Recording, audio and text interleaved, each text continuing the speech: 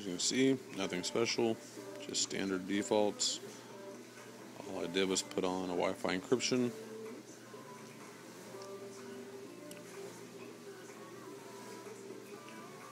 I simply hit press to start tethering.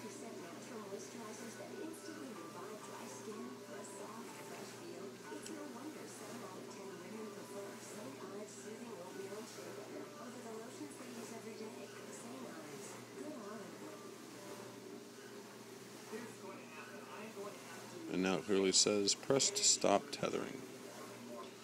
And then down here, it shows you the up and down speeds, which will increase as more machines start to use them. Up top, you'll see a Wi Fi tether icon that shows that the Wi Fi tethering is working. I can simply tap it and turn it off.